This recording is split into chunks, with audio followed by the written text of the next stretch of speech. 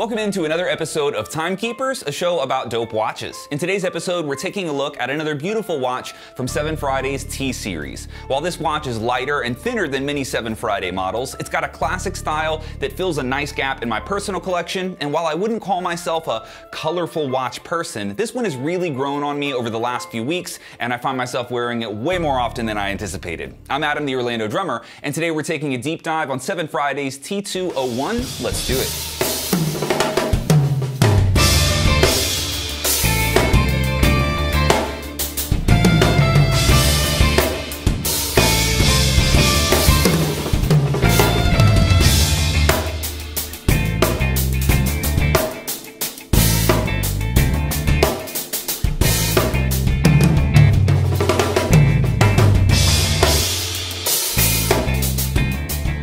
Let's get some main specs out of the way. One of the standout features of the T201 is its size. Now by watch standards, this is still a relatively large watch, coming in at 45 millimeters by 45.6 millimeters. It also has a thickness of just under 13 millimeters, but I should mention that by SevenFriday standards, this watch is actually a little bit undersized when compared to its predecessors in the P and M series. The T-Series watches are the smallest, thinnest, and lightest watches that SevenFriday offers. Of course, in the watch world, 45 millimeters is still considered somewhat large, but if you're not a big watch person, any models within the T-Series might be a good place to start within the SevenFriday lineup. But honestly, even with the size reduction, this watch still has a great weight to it. It comes in at 110 grams. It's not a light watch by any means, and it falls in that SevenFriday sweet spot for me. Heavy enough to feel like you're wearing something quality, but light enough to forget that you're wearing it, especially when you're moving your hands or playing drums. I love the way this thing feels on the wrist without being too weighty or bulky. Like all SevenFridays, you can find an NFC chip embedded in the back of this watch, which allows you to scan it on your phone via the SevenFriday app, so you can make sure that you have an authentic SevenFriday and register the watch to your name.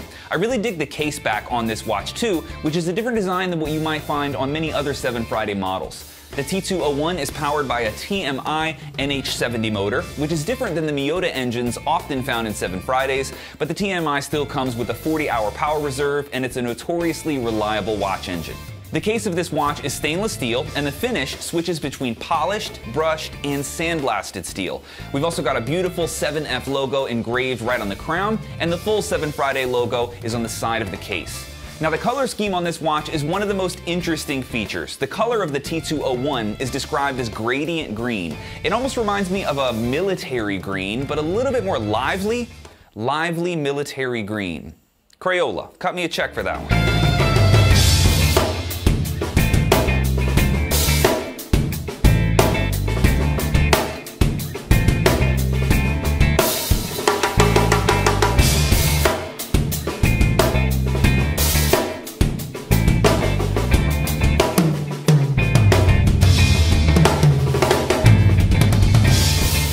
Now it's not just the strap that features this color, it's also the glass itself, which is tinted green. And even cooler, that gradient green glass is the same material used in the glass of SevenFriday's Tiny 3 sunglasses, in case you want to get super matchy-matchy. The strap on this watch is made from a super high quality canvas. It feels great, uh, and it also has green matching stitching. One very small detail that I love about this strap is the contrasting color of the loops. So the free loop, which is the one that moves, that matches the strap itself. But the fixed loop next to the buckle is made of brown leather calfskin. A really tiny detail, but I thought this accent color was pretty cool.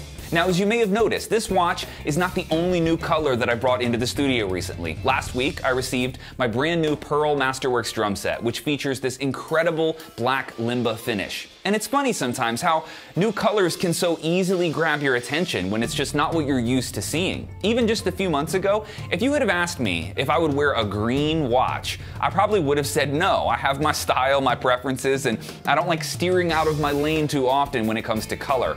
But just like this drum set behind me, sometimes a change in color can bring you more inspiration than you might think. So in a week full of new colors for me, I thought I'd remind you that every once in a while, you should always make the effort to just take a step outside of your comfort zone. Sometimes that can be as simple as wearing a new color, sure, but it can also be an activity that you wouldn't normally do, or a food you've never tried before. Maybe it's a piece of con maybe it's a piece of content that you've Maybe it's a piece of content that you've never made before, or a different type of workout in the gym, a new style of music, or a new pattern to practice on the kit. For me, these kinds of changes have always proven to be more refreshing than anything else. So here's your reminder try something new this week. You'll be glad you did. Thank you so much for watching, guys. I hope you enjoyed this episode of Timekeepers. Adam here, and I will catch you in the next one.